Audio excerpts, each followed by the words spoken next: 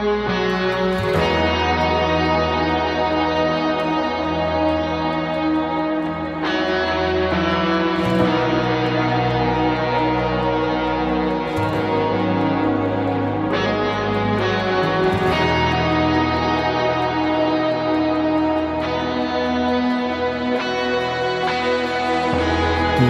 a fonte, Jesus, nós a terra sedenta.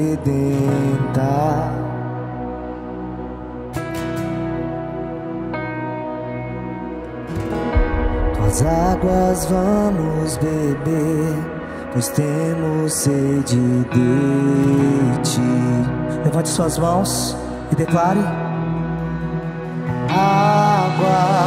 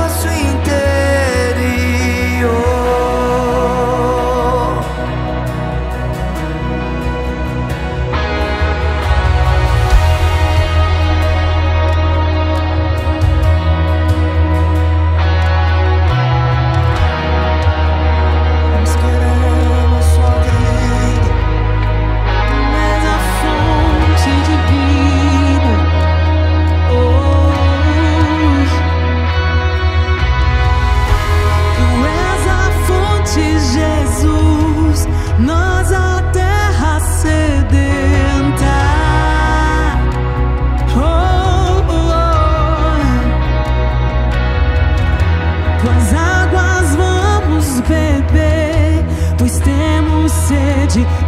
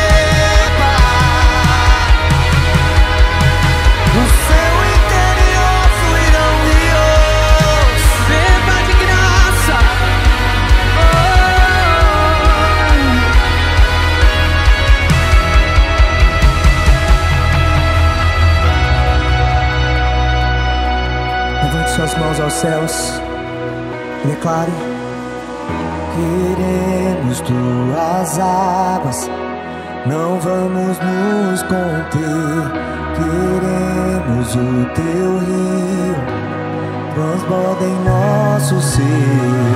Queremos tuas águas, não vamos nos conter. Queremos o teu rio transborda em nosso ser.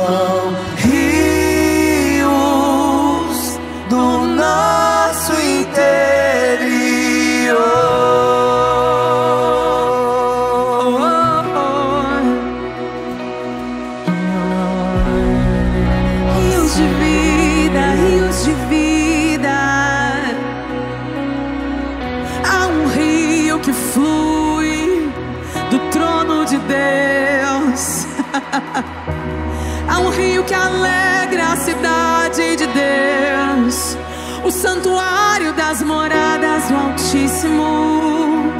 Deus está no meio dela, Deus está no meio dela, por isso não será abalada, não será abalada, não será abalada.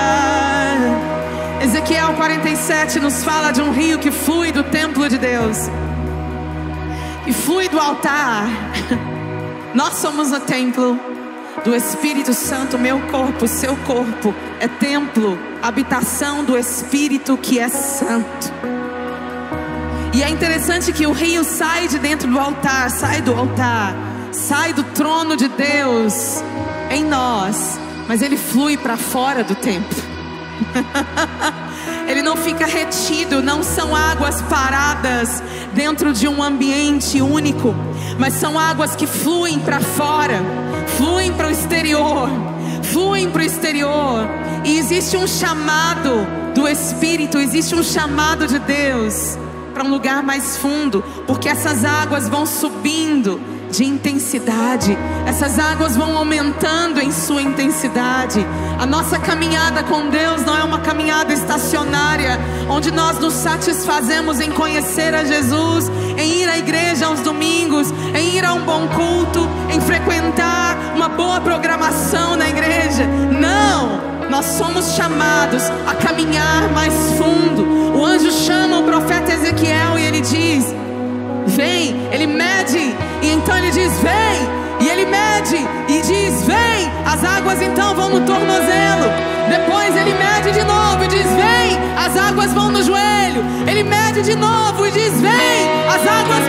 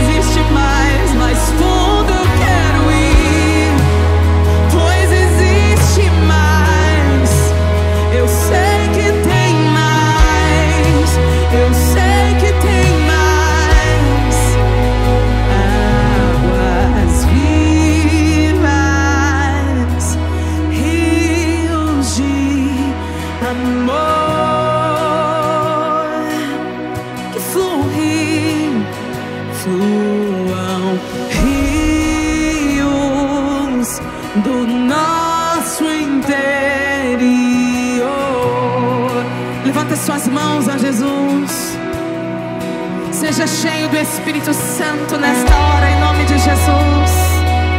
Falando entre vós com salmos e cânticos espirituais. Assim seremos cheios do Espírito. Cheios do Espírito. Não apenas hoje, mas amanhã. E depois de amanhã. E depois de depois de amanhã.